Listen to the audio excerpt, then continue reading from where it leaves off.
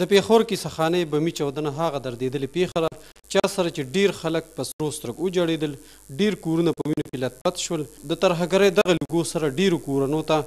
نه ختمېدونکی غم او درد رسېدلی دی. همدغه شان د کیسه خانې دغه دردېدلې پېښه کې د پېښور جنګي معلې اته ویشت کلن ځوان میا فهیم الدین کاکا خېل هم د خپل ژوند لاسونه ووینځل، میا فهیم الدین کاکا خیل ډیر ځواني مرګ ارمانونه ځان سره نیمګړي نیمه خوا یوړل ځکه چې د مرګي دغه ناڅاپي اواز د میا فهیم الدین کاکا خیل په کور ناڅاپي میلمه شو. نن خو د دغه اته ویشت کلنه ځوان په کور کې یو ماتم جوړ دی او د هغه خپل خپلوان د میا فهیم الدین کاکا خیل ناڅاپي مرګ ته هر وخت فکر وړي ناست وي. میاجي مونږ خو کشر ورور وو مونږ خو ډیر نیازبین لوی کړی وو مونږ به د خانجي خانجي کور کې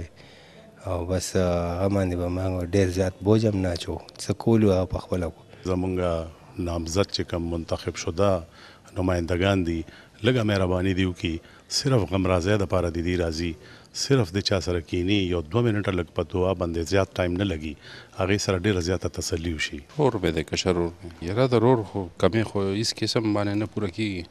زموږ خو یې ملا ماته کړه ځکه چې رور خو رور یې هغه په شان خو بل نه پیدا کیږي. که څوک دا کار کوي الله دې ورته هدایت وکړي او که هدایت یې په قسمت کې نه وي الله دې یې تباه او برباد کړي. غم هم ډیر لوی غم دی ډیر ځوان هلک و او ما سره خو یې اکثر به په خبرې اترې کولې تقریبا هر لس پنځلس ورځې پس او